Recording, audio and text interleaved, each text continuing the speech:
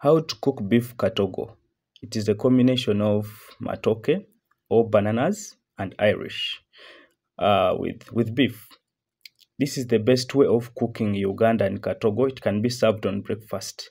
For the new viewers, don't forget to subscribe to my YouTube channel so that you can get the recipe updates via my YouTube channel. And don't forget to also share with your friend so that you can also share a skill with a friend. We are going to get our saucepan.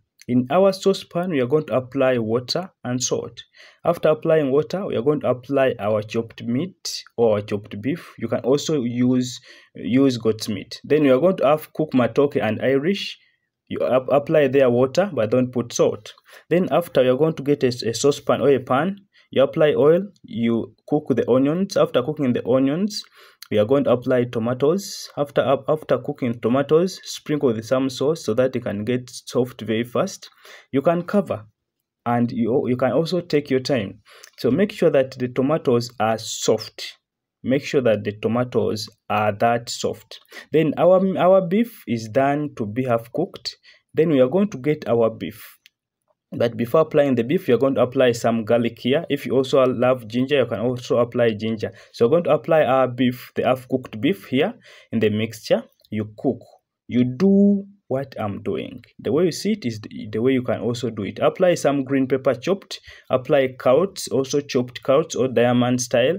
Then you also cook for some time. But make sure that you take your time. Apply spring spring onions apply spring onions, apply fresh coriander, then apply Royco and turmeric. We apply Royco for taste and apply turmeric for color. Then you are going to apply some tomato paste. Tomato paste is going to work like a thickening agent. Then after applying tomato paste, you take your time. You take your time. You can also apply some little water.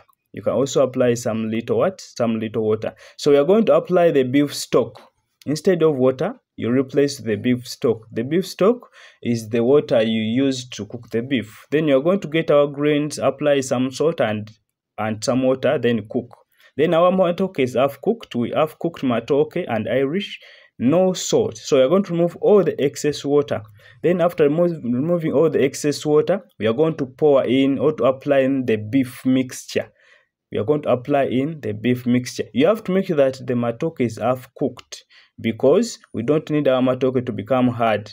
If you put if you put this mixture when the matoke is still hard, trust me, you're going to produce out a hard matoke or a hard katogo.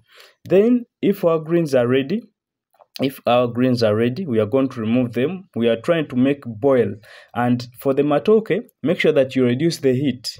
After putting the beef mixture, make sure that you reduce the heat because we don't need our our our, our matoke to become to dry so hard. Sorry to dry the soup to dry. So reduce the heat and it's good to go. Just look at that. Remember this is chef Josh Omusiisisiisi for the new viewers don't forget to subscribe my youtube channel so that you can get weekly daily recipes. You can try this recipe trust me you will not regret. You can try it for breakfast, you can try it for lunch, you can try it in your business, you can try it for supper, you can try it anytime you feel like. And don't forget to share.